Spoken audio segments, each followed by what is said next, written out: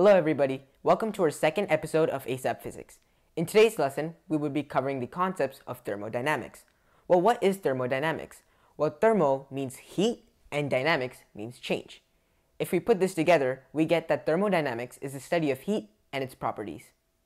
Now let's talk about another important concept in thermodynamics. This is thermal energy, also known as internal energy. Well, thermal energy is basically the sum of kinetic energy and potential energy. As we have mentioned before, kinetic energy is the movement of molecules in a microscopic level in objects. Potential energy, on the other hand, is basically the spacing and alignment of molecules in an object.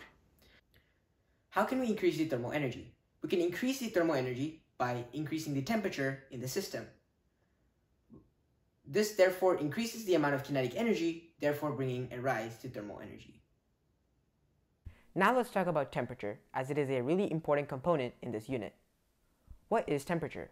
Well, temperature is basically the measure of average kinetic energy in an object. Well, what is kinetic energy? Kinetic energy is basically the movement of particles in an object. So, as the kinetic energy increases, then the movement of molecules, which are in microscopic level, also increases in an object. This therefore leads to an increased temperature.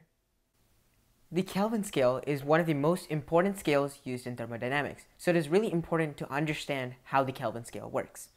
So in the Kelvin scale, if you want to find Kelvin, you just add 273 degrees from the Celsius temperature. If you want to find Celsius from Kelvin, you just subtract 273.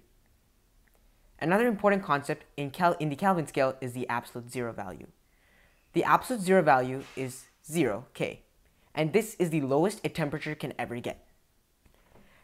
So the Kelvin scale, some basic uh, reminders is that the Kelvin scale starts from 0 and that the Kelvin scale's absolute zero value is 0K.